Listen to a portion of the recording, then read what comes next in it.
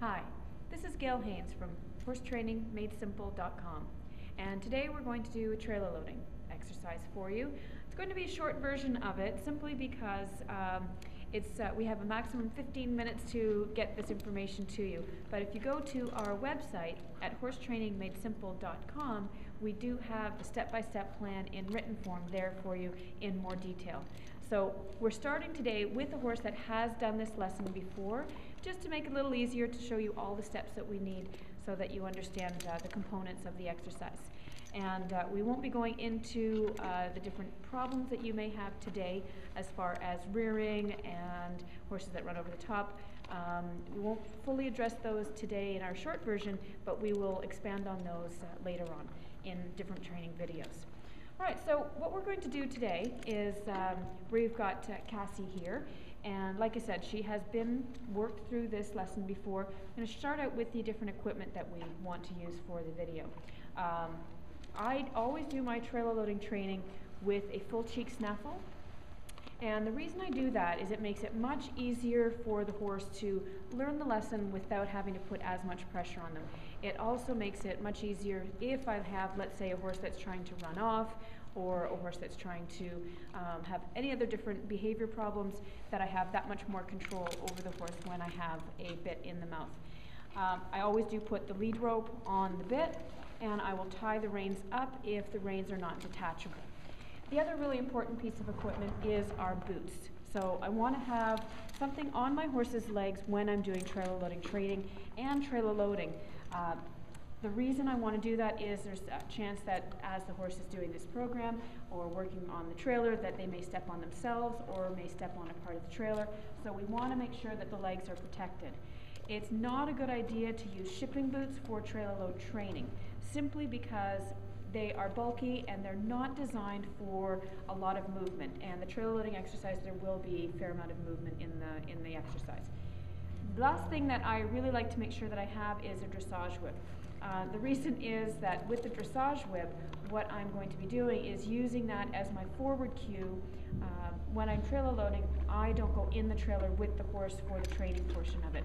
So I want to have a cue that tells the horse to go in the trailer that they're comfortable with, that when the whip touches their hip, they know that that's to go forward. All right, so the, uh, if you've read the articles at our website, you know that the first step in trailer loading is having a horse that has good ground manners. So we want to do a few quick little exercises to show you, again, in more detail uh, in written form on our website, uh, that uh, I always make sure that I do before I start the process, makes the training process way easier. The first thing that I want to do is I want to teach my horse the forward cue. Now the forward cue is simply the whip touching the point of the hip. All right, so I'll bring her around here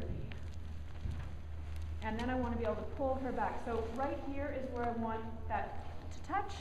So when I go here, I want her to move forward and I want to make sure that she's not afraid of it. I'm not using the whip to intimidate the horse. I'm using the whip to teach the horse to go forward. So go ahead again, tap her forward, and when I go forward, what I want to be able to do is bring her hip around and have her stop, like so. I also want to make sure that I do have the horse, I'm able to back the horse up. That's really important so that if the horse is getting pushy, I'm able to um, tell the horse to get out of my space.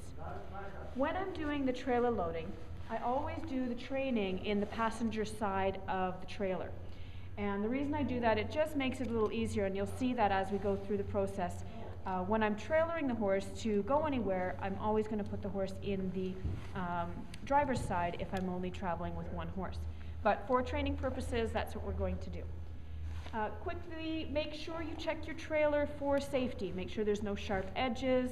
Um, make sure that you know that it's in good repair. As far as the difference between a ramp and a step-up trailer, they both got their uh, pluses and minuses. I prefer the step-up trailers simply because you don't have the slip factor with the ramp, and um, but again, everybody has their preferences. So whatever you have, just make sure it's safe. I also make sure that there's no hay in the trailer. It's really important that you don't have anything to distract from the lesson uh, so that the horse is concentrating on what you are going to be teaching them. All right, so we're going to take a little walk away from the trailer first. So many of you are going to have a horse that doesn't even want to get anywhere near the trailer. So I'm going to just circle around here in front.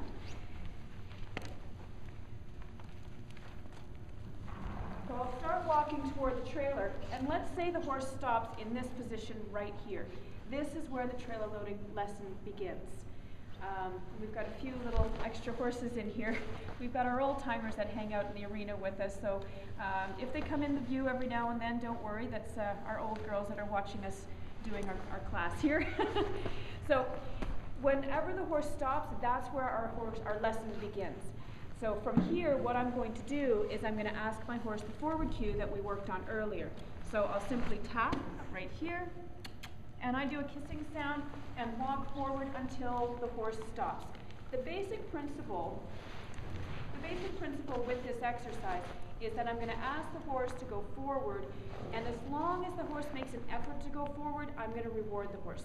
So that could be just reaching down with their neck, that could be one step forward, it could be even just pawing. Now, Cassie's a little bit anxious with the horses walking around, but that's okay. Um, it will help you to kind of see a few different things with the exercise here.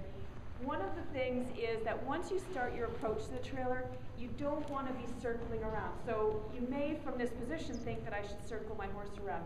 But if I ask my horse to tap forward, what you'll see happen is she will actually straighten herself up, or I can simply just tap from this side here and move her over just like this.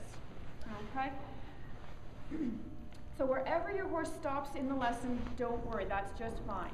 Uh, once I'm here, once we get the horse where they're at the trailer and they're comfortable, um, then we continue just the same step. I'm going to ask my horse to go forward, kissing sound, and if they take one or two steps here, I'll pet them, reward them, let them know everything's doing fantastic. If they want to stretch their nose down and sniff, that's fine. And when they're ready to back up, that's also fine. So as long as they've listened to the first time that I've asked them to, go forward, I want them to back up because the first foot on the trailer is the last foot off the trailer. So we want to make sure that the horse is comfortable both getting on and getting off the trailer. So we'll just continue this process. Okay. And if she stops here, just reward her. Your feet should go on and off the trailer a couple hundred times by the time this lesson is all done but it shouldn't be an exciting lesson. This should be fairly low key, fairly boring. And again, whenever my horse wants to get out of the trailer, that's just fine, but I'm going to keep them pointing toward the trailer. Now, if my horse backed up 10 feet from the trailer, then again, I'll let them pause there for a moment, and then I'm going to ask them to come forward again. Now, if I think that I can get my horse to step one extra foot forward, then sometimes I will ask for that from the horse as well. I'm going to ask her to go in one more time. We've got two feet going on the trailer consistently.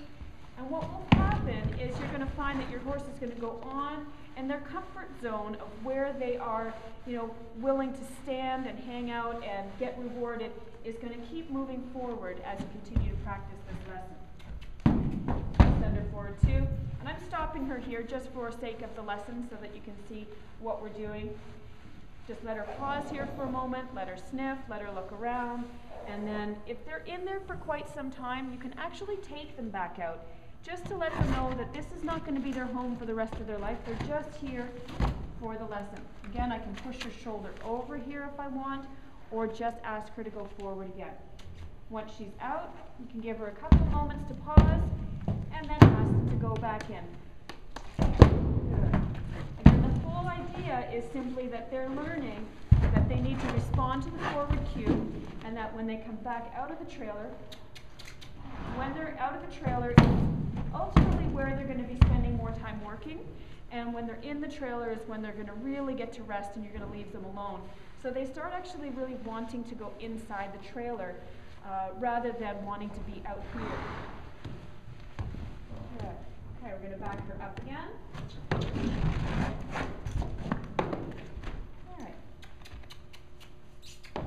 Then we'll ask her to go back in. And it might seem like it's a little monotonous to keep doing this, but what happens is we keep setting that horse up for responding to that cue that when we ask them to go forward, they say, yes, okay, I can do that for you. and then let them relax and rest, realize everything's okay. Then they can come back out of the trailer again when they're ready. Okay? And so here, once she's waited for a while, can either, I can bring her back out, or like I said, sometimes she will decide that she's ready. This is a position that you have to be a little bit careful of. When my horse pushes their nose over here, sometimes they'll actually try and run over the top of you, which is why I like this position so I can step in the trailer if necessary. All right, we're going to start working a little more inside the trailer. So I'm going to put this right over her back. Let's ask her to go a little bit further forward.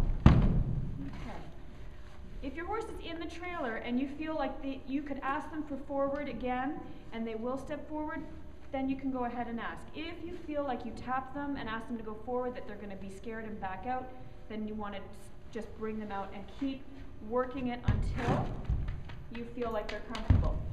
But again, Cassie's done this a few times before, so I know that if I ask her for more forward, good, then we will get it. All right, so even when she's putting her foot out here, this is just, that's okay. Again, I'm just going to thank her for putting the effort in that she did. She'll come back out again, nice and easy and relaxed. Good job. Let her know she's doing great. And then send her back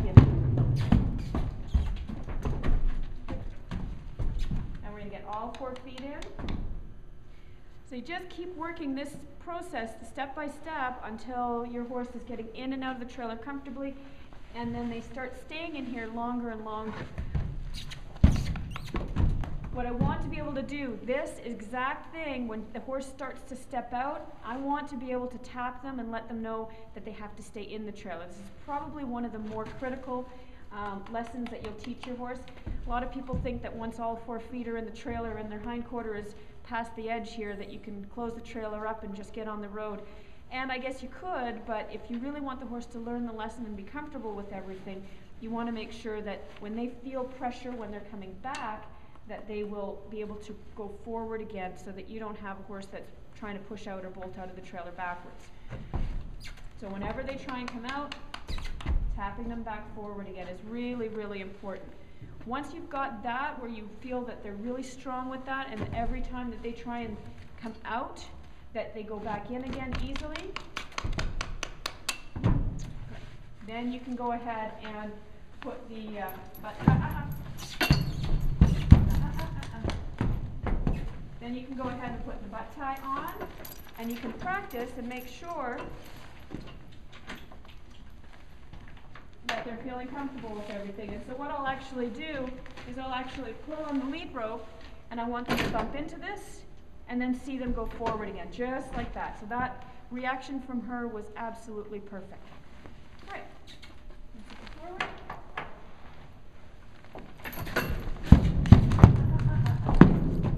Now for me, it's really important that I want my horses to be able to, when I undo the tie, I want them to stand there and wait until I give them a cue or signal or let them know that it's time to come out. So if they do start to step out again, it's really important that you stay on that correction and let them know when they can come out. So I'll just come in and pull them back. Back all the way out. Okay. So that is, again, our short version. Um, we'll have more details on the website at www.horsetrainingmadesimple.com. Come and visit us there. We've got lots of great blogs available for you to check out and uh, you'll get to uh, really get some details on uh, some of the things that we weren't able to fit into the video today. And if you have questions, please email them to us or post comments on the blog if there was an area that you're still not sure of, or if, let's say, there's something going on with your horse and you want some help with it. We'd be happy to help guide you through this, this process. Uh, this is a lesson every horse should learn. And you never know when you're going to need to get your horse on a trailer, whether it be an emergency situation, and you don't want to be training your horse at that time. So thanks so much for watching the video today, and hope you have a great day. Take care.